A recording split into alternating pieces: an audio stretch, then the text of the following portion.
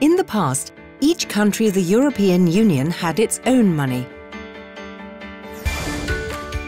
Today, 19 countries of the Union have the same money, the euro.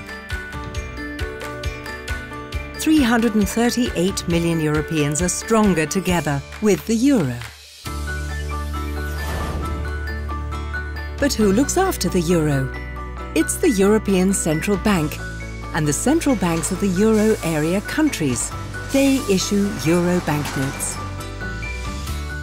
The European Central Bank is located in Frankfurt, Germany. Each country has its own national central bank, usually located in the capital.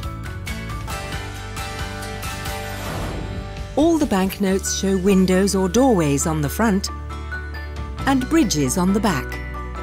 Some of them are old, some modern. Because banknotes are valuable, criminals try to forge them. But it's easy to tell whether a euro banknote is genuine. You just have to do three things. Feel, look, and tilt. So it's not hard to check the banknotes. Now let's have a look at the coins. They have a European side that shows a map of Europe. And they have a national side showing a famous person or building or symbol. Now you know so come and play the Euro Run.